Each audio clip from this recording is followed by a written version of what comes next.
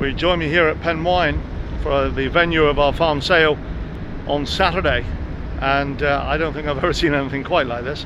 Um, if we just have a little look at the slurry tanker, the low load in trailer and then when we come out here, here's the flatbed trailers, there's three of them, those super bale trailers, all they've been using for is uh, putting those pallets, those potato pallets uh, on them and moving potatoes around. But then we move into these wonderful lineup of, of uh, uh, trailers. Just have a look at that. Isn't that a spectacle? So there we are, that's just a sample of what we have at Penwine on Saturday.